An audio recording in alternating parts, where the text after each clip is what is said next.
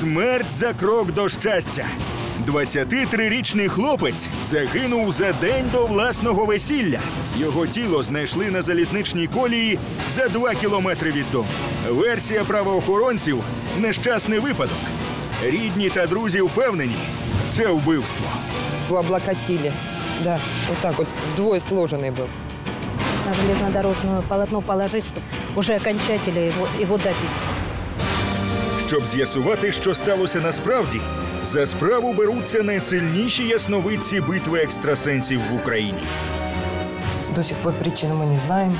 Милиция нам помочь не смогла. Все, що сталося з вашим сином, не випадковість. Він начебто підписав контракт із самим дияволом. Была какая-то ссора, да. Его пытались держать за рукав. Я не виновата в его смерти. Не дают мне жизни. Именно смерть уносит еще человека. Донеччина.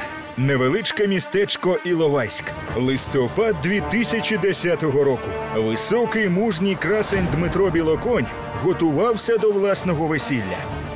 Справ було безліч: приготувати костюм, прикрасити святковий зал, домовитися про автомобілі, зустріти гостей. До урочистостей залишався всього один день, але сталося жахливе. Наречений помер. Його ховали в день весілля. Я просто видела его лежащим в костюме в день росписи 6 ноября. Ну, как будто я просто умерла вместе с ним. Катерина наречена Дмитра. Дружиною вона так і не стала. Однак і досі носить весільну обручку. Це було кохання з першого погляду. Вони познайомилися за два роки до трагедії і одразу сподобалися один одному. Ко Мне так никто никогда не относился. Был добрый, внимательный.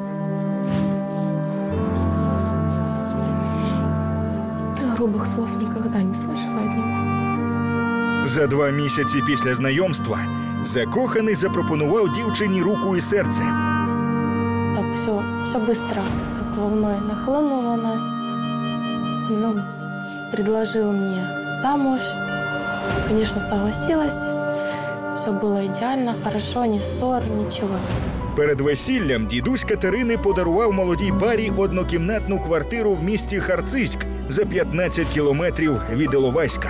Дима делали ремонт, но мы его не закончили, не успели. Так как здесь мебель стоит, это была планировка Димина. Я сделала как бы в память о нем. Наречені лічили хвилини до найголовнішої події в своєму житті. Однак не судилося. Родненький человечек. Я его просила, чтобы он забрал меня к себе. Тяжело до сих пор так. Страшною втратою смерть хлопця стала і для його матері. Людмилі 45. Дмитро був її єдиним сином. Если бы можно было поменяться местами, я бы поменялась. Ну, Это, наверное, самое страшное, что можно было потерять.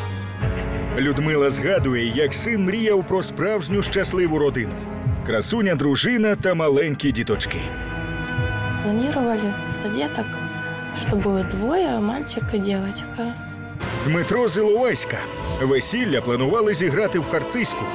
Саме тут живе наречена і бабуся хлопця.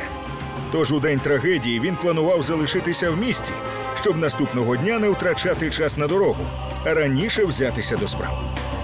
Я позвонила около 8 часов вечера. Спросила, Дим, ты будешь домой ехать? Говорит, я к бабушке. Та до бабусі того дня Дмитро так і не прийшов. Люда мне звонила, что Дима будет у тебя ночевать. Ну, я и подождала его, нет.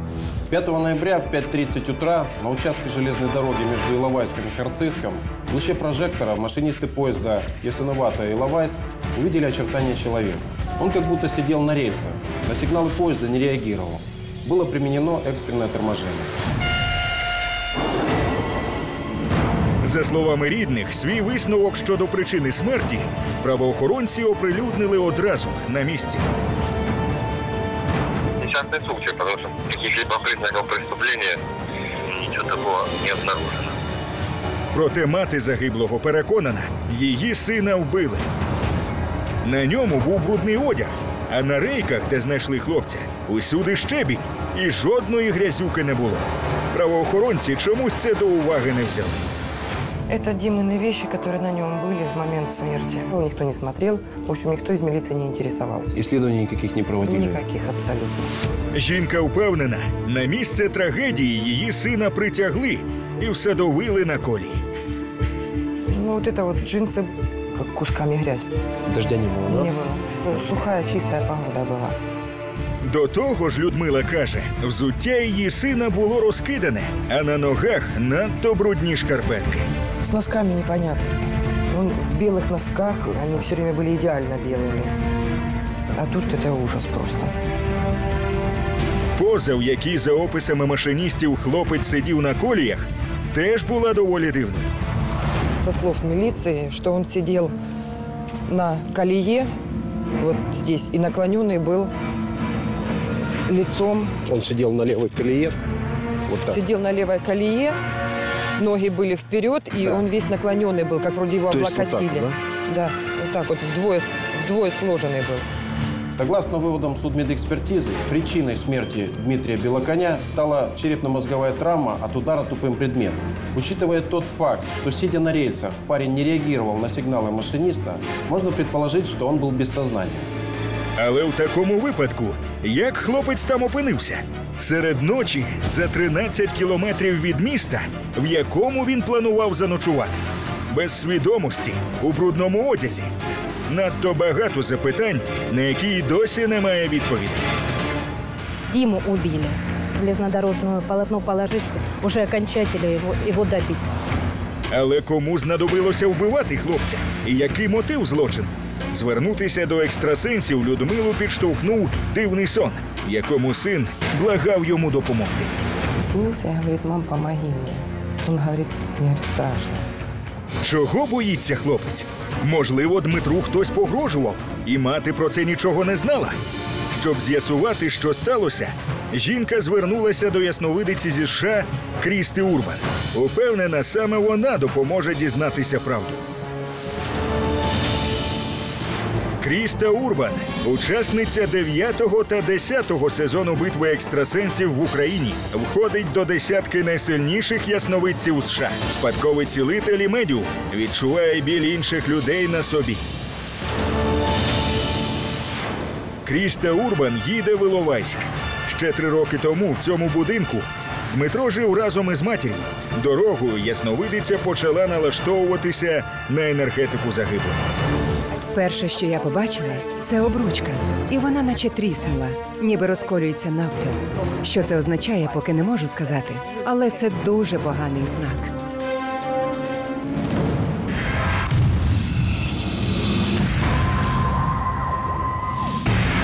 Здравствуйте. Ваш син дуже любив цей будинок. Ви сюди переїхали не так давно. Раніше Людмила разом із батьками та сином жила у невеличкій двокімнатній квартирі в Харциську. З батьком Дмитра розлучилася, коли дитині було півтора роки. Чоловік зловживав алкоголем. З часом назбирала грошей на окреме житло, куди разом із сином переселилася вісім років тому. Я хочу потрапити всередину, якщо можна, щоб налаштуватися на енергетику хлопця. Хорошо, пойдемте, пожалуйста.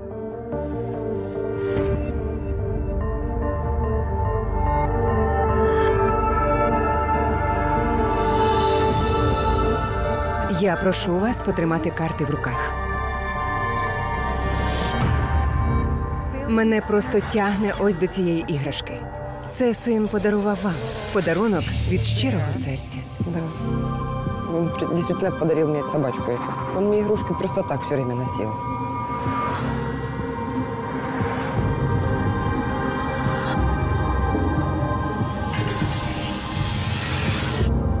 Шкатулка.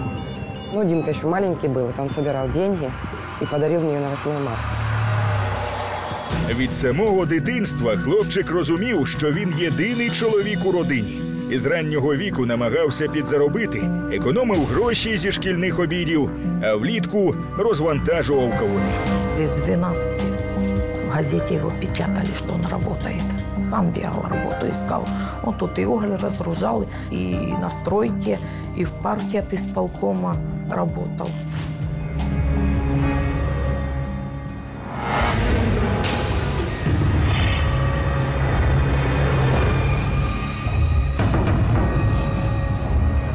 Я бачу, що син у вас єдиний.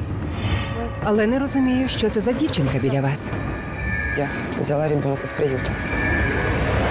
Людмила змогла завагітніти лише раз. Після народження Дмитра в неї були проблеми зі здоров'ям. Невдовзі лікарі поставили жінці страшний діагноз безпліддя. А коли сина не стало, вона зрозуміла, що не зможе жити, якщо поруч не буде дитини. Тепер у неї є десятирічна донька Катруся. Дівчинка також пережила немало горя. Она сирота, отец у нее давно умер, мама у нее умерла в январе 2012 года. В общем, ее сожитель побил. И она в больнице умерла. Умерла ее бабушка, там онкология. Ну, в общем, Катя осталась одна, теперь мы вместе. Тут вот картина И фотографии. и фотографии моих родителей. Это одна фотка, которая у нее осталась, поэтому мы ее повесили на стену. Людмила завжди розповідає Каті про Дмитра.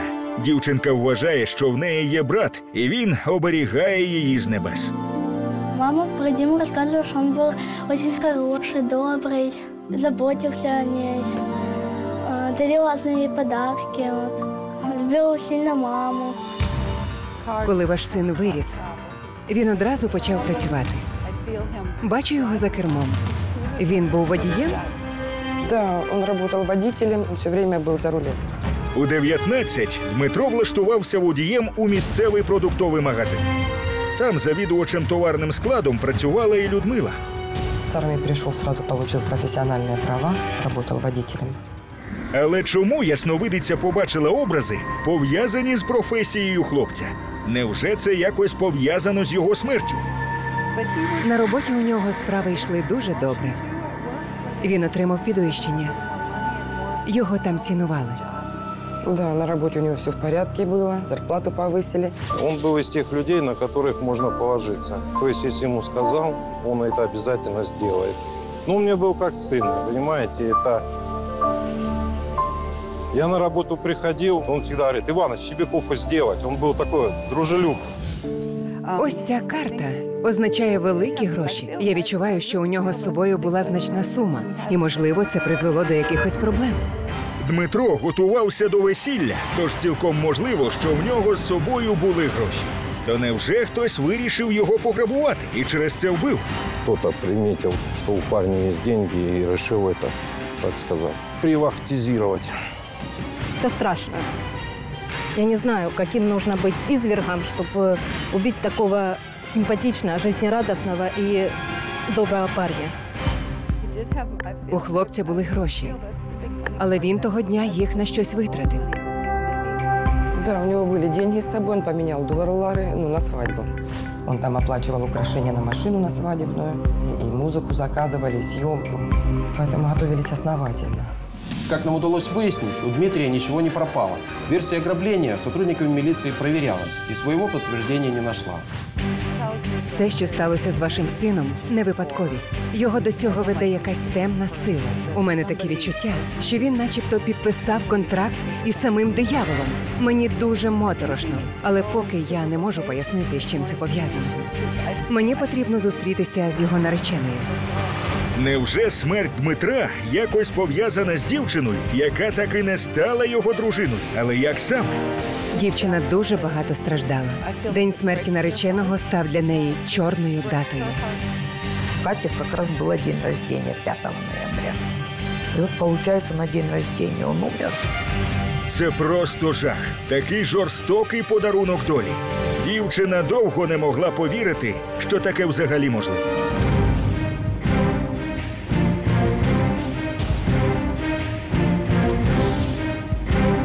Наречена Дмитра мешкає в Харциську. Зустрічається з ясновидицею в міському парку. Це так сумно, дорогенька. Це і для мене важко, бо у мене також є син. Йому 21 рік. Я відчуваю ваш біль, і він крає мені серце.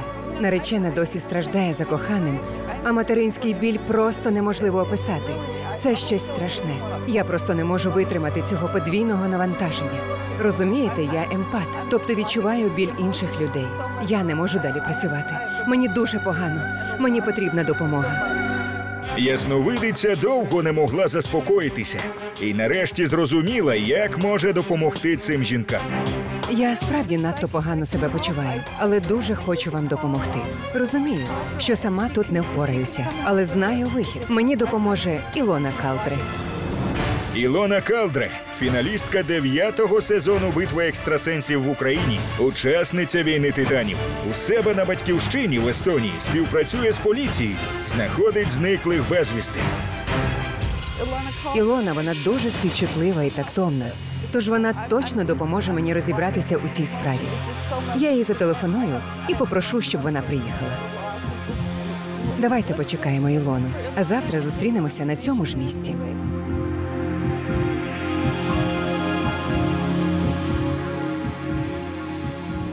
Дізнавшись, що колезі потрібна допомога, Ілона Калдре одразу ж прилетіла до України і вже наступного дня вирушила до Харциська. Мы давно сотрудничаем с Кристой. Э, Мы вместе с ней снимались в девятом сезоне «Битвы экстрасенсов». Мне нравится, как она работает. Я думаю, что у нас сегодня все получится. И несмотря на то, что мы говорим на разных языках, мы говорим с ней об одном и том же. Під'їжджаючи до Харциська, Ілона Калдре почала ділитися своїми першими відчуттями. Почему-то первое, что мне приходит, это, ну это даже страшно озвучить, но это число дьявола. Шесть, шесть, шесть. Мне идет очень страшный образ.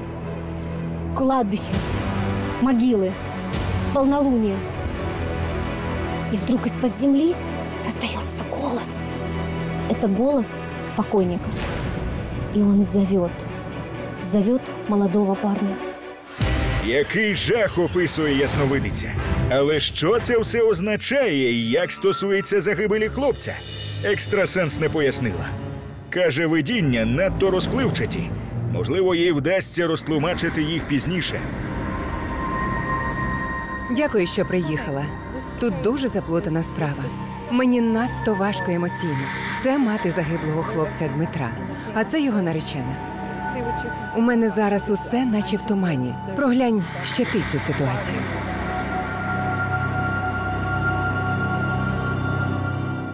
Можно вашу руку?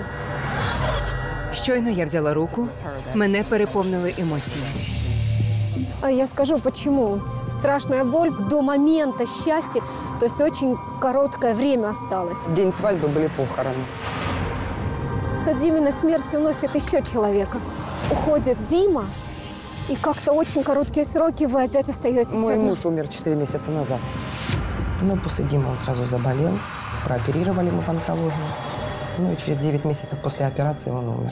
Саша умер 15 октября этого года, вот, который был. Людмила і Олександр прожили всього 5 років. Він був таким турботливим та уважним і так любив її сина. Дима даже сказал, говорит, ты мне дал больше даже, чем мой родной отец. Он его научил всему. От порядка до в доме до машины. Це просто не вкладається в голові. Усього за рік ця жінка втратила єдиного сина і коханого чоловіка. Важко навіть собі уявити, що їй довелося пережити. Але і досі невідомо, що саме трапилося з Дмитром, як він опинився на залізничних коліях. Катя, почему не были накануне свадьбы вместе? Это какие-то отдельные праздники? Мальчики отдельно были, девочки отдельно. Мальчишник. Як з'ясувалося, за два дні до весілля молодята вирішили влаштувати вечірки. Наречені поїхали до друзів. Катерина до подружок, Дмитро до хлопців. Більше вони вже ніколи не побачилися. Девичник-мальчишник у каждого были. Он мне перезвонил э, в 8 вечера, это последнее, когда я с ним разговаривала, сказал, не беспокойся. Там весело кричали, Катюшка, не беспокойся, все будет хорошо. Это друзья еще с детства. Один из них должен был быть дружком на свадьбе. Они вообще работают в Москве, Ну, на это событие они приезжали все. Так, вони були тут. Хлопець із друзями були саме в цьому парку, де ми зараз. Но сейчас я понимаю, что он был здесь. Встретились мы в парке тут вечером. Ну, было нас пять человек. Полдесятого вечера пришли, сели здесь на лавочке и сидели дальше общались. Возможно, была какая-то ссора, да. Его пытались держать за рукав, как-то вот чувство такое Невже на Парубоцькій вечірці була якась бійка, в результаті якої Дмитро опинився на залізничних коліях за 13 кілометрів звідси? Никогда не дрались. В тот вечер здесь никаких не было заварух. Не, здесь тихо. Здесь э, редко, когда компания на шум себе. Может, какой-то, я не знаю, драка была. Нет, э, ничего такого. Дмитрий с друзьями находился в парке до полуночи.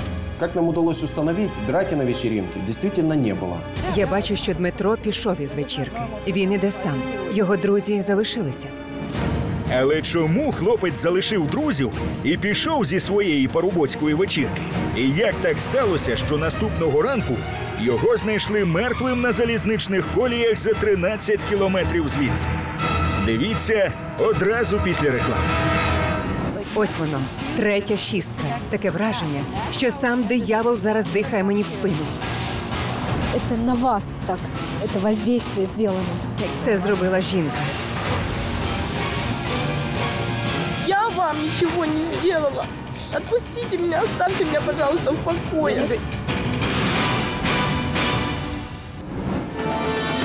Якщо у вас є екстрасенсорні здібності, ви впевнені у своїх силах і прагнете, щоб про вас дізнався увесь світ, зареєструйтеся для участі у кастингу нового сезону битви екстрасенсів за номером, який щойно з'явився на екрані. Не прогавте свій шанс.